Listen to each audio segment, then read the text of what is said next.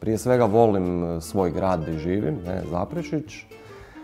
Ne volim previše odlaziti iz Zaprešića, čak ni do Zagreba. Ali i tu je nekako to mjesto di, radim, stvaram i tu se i družim sa dragim ljudima i tak, ugodno je. A kako bismo se u to uvjerili i sami, stigli smo u Šimunovatelje. Ovaj umjetnik je inače slikar koji je svoj poziv pronašao u izradi sve popularnijeg posuđa od keramike koji sve češće možete vidjeti u brojnim barovima i restoranima. Ja sam primijetio ovaj, kako je dosta popularna keramika. E, mnogi, mnogi ljudi, kolege i kolegice s akademije, dosta njih zapravo i dolazi tu kod Irene u atelje e, za savjete. Puno ljudi se baš želi baviti e, keramikom i tako da nekako se čini baš da je vrijeme keramike sad nekak došlo tu kod nas isto. Počeo sam to čisto raditi iz želje, htio sam naučiti na kolu raditi, pa nekako prijatelji i umjetnici koje znam sa akademije su mi dolazili i te neke sitne narudžbe, joj sviđa mi se ova šalica, želim kupiti pa, pa prodam njima, pa oni nekom drugom to poklone, pa taj drugi neko nazove, trebam ovo ono. I zapravo prve neke prodaje su sam slao svoju robu u galerije na moru.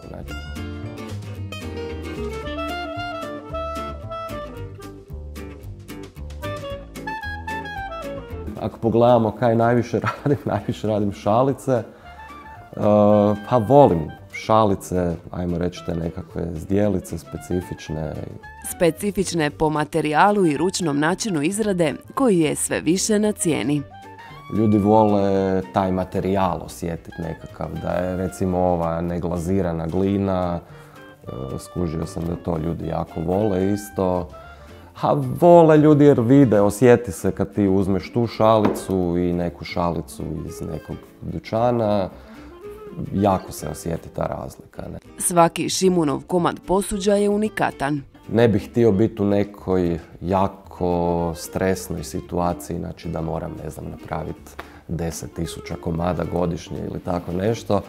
E, više bi volio raditi tako sa specifičnim klijentima za specifični neki restoran ili galeriju ili neko mjesto gdje, gdje je nekako ta kreativnost najviše izražena.